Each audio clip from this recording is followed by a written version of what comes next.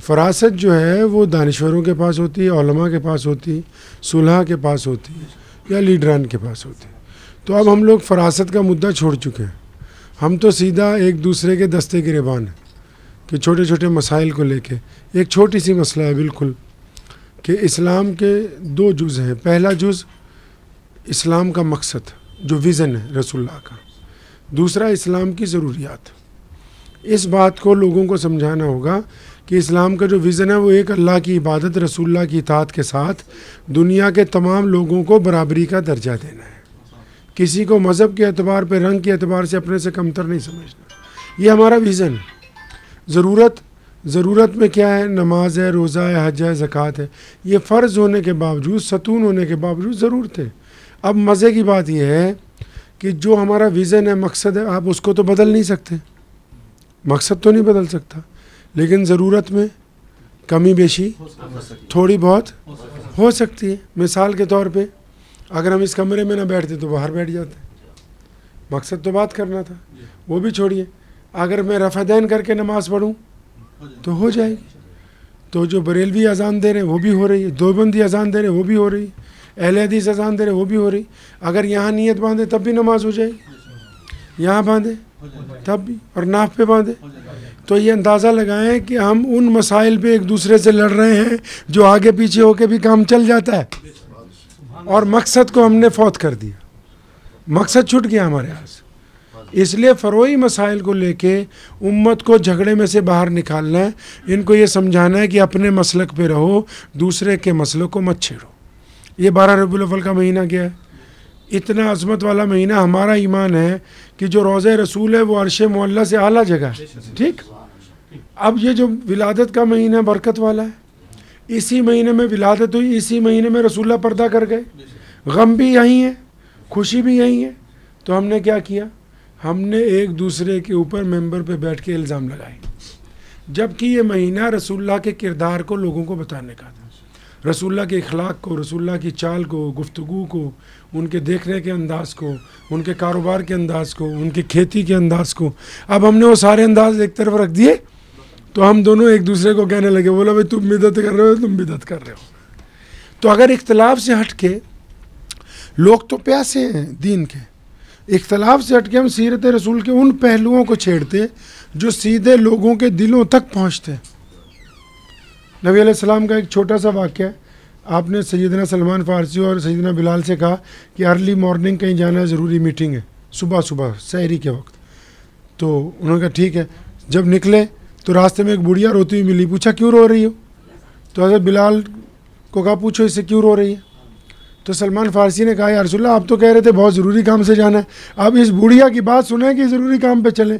फरमाया, आप इसके आँसू पूछने से ज़्यादा कोई ज़रूरी काम नहीं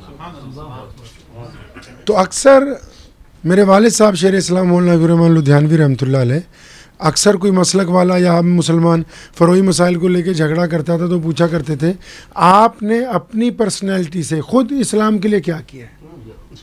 किसी रोते हुए को हंसाया क्या कभी किसी गरीब को खाना खिलाया क्या किसी बेवा की तिमार इस तरह तीमारदारी की कि छुप के उसके घर में पैसों का लिफाफा फेंक के आ गए हम लोग जहनी बीमार हो गए हैं अपने नाम के। हमारे जलसे में तो अगर नाम के एक आधा लकब आगे पीछे ना हो तो फसाद हो जाता है कि अरे, फलां मेंबर साहब का, सदर साहब का नाम नहीं। ये मेरे अज़ीज़ बैठे हैं। क्या नाम आपका? हाँ हाफिज़? वसीम भाई। इन्होंने हमें बहुत दफ़ा कहा कि अहरार को यहाँ भी बनाइए। हमारा अकीदा ये है कि इस्लाम मुकदम है, जमात मौखर है। हमें भी पता है कि अपनी जमात को जगह जगह बनाना है, लेकिन हमारा अकीदा शुरू से मजलिस सरार का ये है कि इस्लाम मुकदम है, जमात मौखर है, और हम सब लोग किस गलती पे आ गए? जितनी दीनी तंजीमें हैं, वो कहती हैं, जमात मुकदम है, इस्लाम की बात बाद में करेंगे। पहले हमारे टाइटल की बात करो। टाइटल एक ही है जिससे कुफर हमें जानता है। पूरी दुनिया का दुश्मन आपको सिर्फ़ मोहम्मदी होने के नाते जानता कि ये रसुल्ला की उम्मत में से उनको नहीं पता कि आप बरेलवी देवबंदी अंसारी पठान कुरैशी उनको नहीं पता। वो, इतने लंबे चौड़े पंगे में नहीं पड़ते तो जब हमारा टाइटल एक है तो फिर हम उस टाइटल की बात पहले क्यों नहीं करते? तो रसूल वसल्लम का जो विज़न है जिसकी वजह से हम भी मुसलमान हुए। मैं तो बड़े फ़ख्र से कहता हूँ कि हमारे आबो अजदाद तो कोई मुसलमान नहीं थे ना। हम तक भी तो दीन पहुँचा ना। क्यों? दीन की सिर्फ़ दो ही बड़ी बातें हैं। पहली नबी सलाम ने फरमाया, अल्लाह और उसके रसूल की इतात करो। इसमें क्या खासियत थी कि बहुत सारे लोगों ने कहा कि खुदा एक है तो रसुल्ला ने यह विज़न रखा कि खुदा तो एक ही है, लेकिन जो सिर्फ़ एक की ही इबादत करे, उसी का एक। ये इस्लाम का वो विज़न है जिसने पूरी कायनात में बात को आगे पहुँचाया। फिर साथ में क्या आ गया? नमाज़, रोज़ा, हज, ज़क़़त फ़र्ज़ होने से पहले सहाबा ने पूछा, या रसुल्ला अल्लाह को भी मान लिया, आपको भी मान लिया, अब क्या करें? फरमाया जिसने कलमा ला इला मोहम्मद रसुल्ला पढ़ लिया, अब उस पर लाजिम है कि दुनिया के तमाम इंसानों को बराबरी का दर्जा दे। आप ही हैं सिर्फ़ दुनिया में, जो सिसकते हुए लोगों को गले से लगा सकते हैं, जो गिरे हुए को उठा सकते हैं, जो एक थाली में उनको अपने साथ बिठा के खिला सकते हैं। क्योंकि आपको रसुल्ला ने ये विज़न दिया है और आप उस विज़न को छोड़ चुके हैं। आप तो इस हद तक नीचे आ गए, बोले अपनी बेटी की शादी होगी तो अपनी बरादरी में होगी, बाहर नहीं होगी। बेटे का निकाह तो जब हम रसुल्ला की बातों को अमली तौर पर छोड़ चुके हैं तो फिर हमारी दुआ कैसे कबूल हो जाएगी? दुआ नहीं कबूल हो सकती।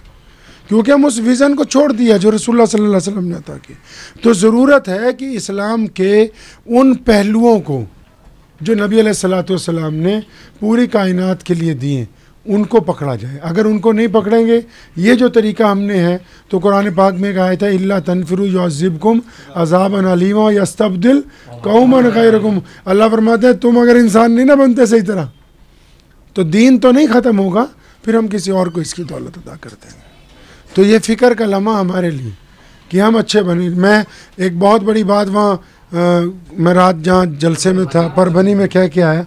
तो मैंने वहाँ मौलाना से पूछा, लोगों से पूछा, आपसे भी पूछता हूँ। उनसे मैंने पूछा कि मराठी का कुरान शरीफ कहाँ है? मराठी में सीरतुलनबी कहाँ है? अगर किसी मराठी दोस्त को गलत फहमी हो जाए इस्लाम के मुतालिक, उसने वो दूर करनी हो तो वो कहाँ जाके मराठी में तर्जमा पड़ेगा?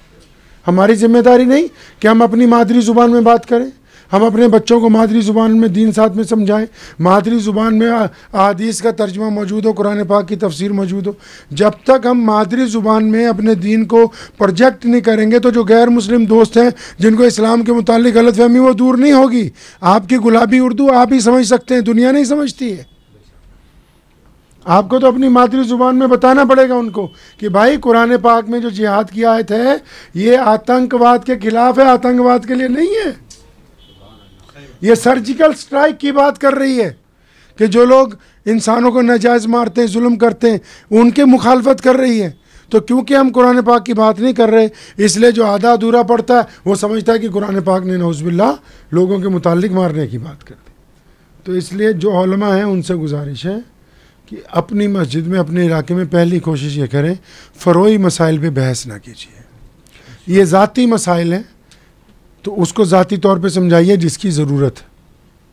अगर हम इन फ़रोई मसाइल को बहुत ज़्यादा फ़रोग देंगे, बहस व मुबासे में ले जाएँगे तो उम्मत में इख्तलाफ होगा। अगर उम्मत में इख्तलाफ होगा तो आपके दो भाइयों के ताल्लुक टूट जाएँगे। आपकी जमात की नमाज़ में कमी आएगी, आपके मोहल्ले के अंदर कमी आ जाएगी। मोहल्ले में कमी आएगी तो इकतदार के लिए जो आपको एक जगह अपनी वोट चाहिए, उसमें भी कमी आ जाएगी। इसका मतलब आपका जो इख्तलाफ है, वो ज़ातियात से शुरू होकर मस्जिद तक, मस्जिद से शुरू होकर ऐवान तक जाता है, जहाँ आपकी नुमाइंदगी ख़त्म हो जाएगी। तो इसलिए मसलक के मसाइल को, मसलक को अपने से महबूब रखिए, अपने इमाम की मानिए, लेकिन इसको मुसलमानों के दरमियान तफरके के लिए कभी भी इस्तेमाल ना कीजिए। दुआ कीजिए अल्लाह इस पर अमल की तोफ़ी कता फरमाए।